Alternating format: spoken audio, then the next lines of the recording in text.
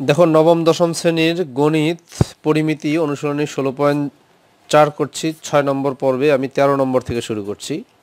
একটি ঘনক আকৃতির বস্তুর পৃষ্ঠতলের ক্ষেত্রফল হলো চব্বিশশো বর্গ সেন্টিমিটার, এর কর্ণের দৈর্ঘ্য নির্ণয় করতে বলছে। তো ঘনক আকৃতির বস্তুর বুঝো যে লুডুর ছক্কা, এগুলো হলো ঘন আকৃতির বস্তু মানে দৈর্ঘ্য বস্তু উচ্চতা সব সমান, এগুলো হলো ঘন আকৃতির বস্তু। প্রত্যেকটা ধার সমান মানে দৈর্ঘ্য বস্তু উচ্চতা সবই সমান। তো আমরা প্রথমে লিখব ধরি ধরি ঘনক আকৃতির আকৃতির বস্তুটির ধার, ধারের দৈর্ঘ্য লিখি, ধারের দৈর্ঘ্য সমান এ সেন্টিমিটার ধারের দৈর্ঘ্য বলতে দৈর্ঘ্য বস্তু উচ্চতা সব এ সেন্টিমিটার তাহলে এখানে যেহেতু পৃষ্ঠতলের ক্ষেত্রফল দেওয়া আছে, অতএব পৃষ্ঠতলের ক্ষেত্রফল। পৃষ্ঠতলের পৃষ্ঠতলের ক্ষেত্রফলের সূত্র হলো সিক্স এ স্কোয়ার বর্গ সেন্টিমিটার। তো আমরা লিখতে পারি প্রশ্ন মতে এইটা ইকুয়াল টু এই চব্বিশশো। প্রশ্ন মতে এই six A square equal to চব্বিশশো। তো এখান থেকে এ স্কোয়ার সমান কত হবে? চব্বিশশো বাই সিক্স তাহলে এ স্কোয়ার সমান কত হচ্ছে? চারশো। তাহলে এখান থেকে আমরা যদি এর মান বের করি, এ- সমান হবে রুট ওভার চারশো।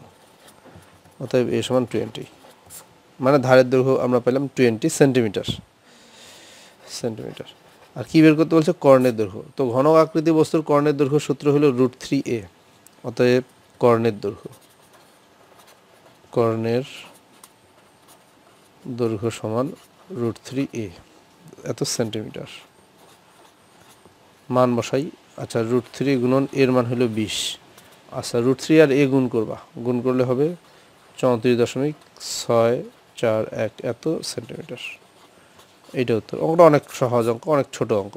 এখন আমি চলে যাচ্ছি চোদ্দ নম্বর অঙ্কে।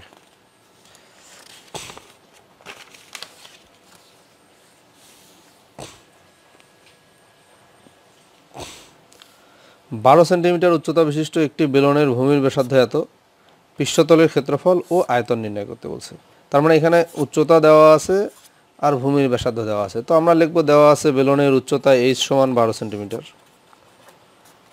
এইচ সমান বারো সেন্টিমিটার, ভূমির ব্যাসার্ধ আর সমান ফাইভ সেন্টিমিটার, এগুলো লিখবা।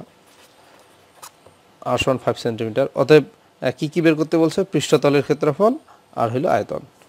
অতএব বেলনের পৃষ্ঠতলের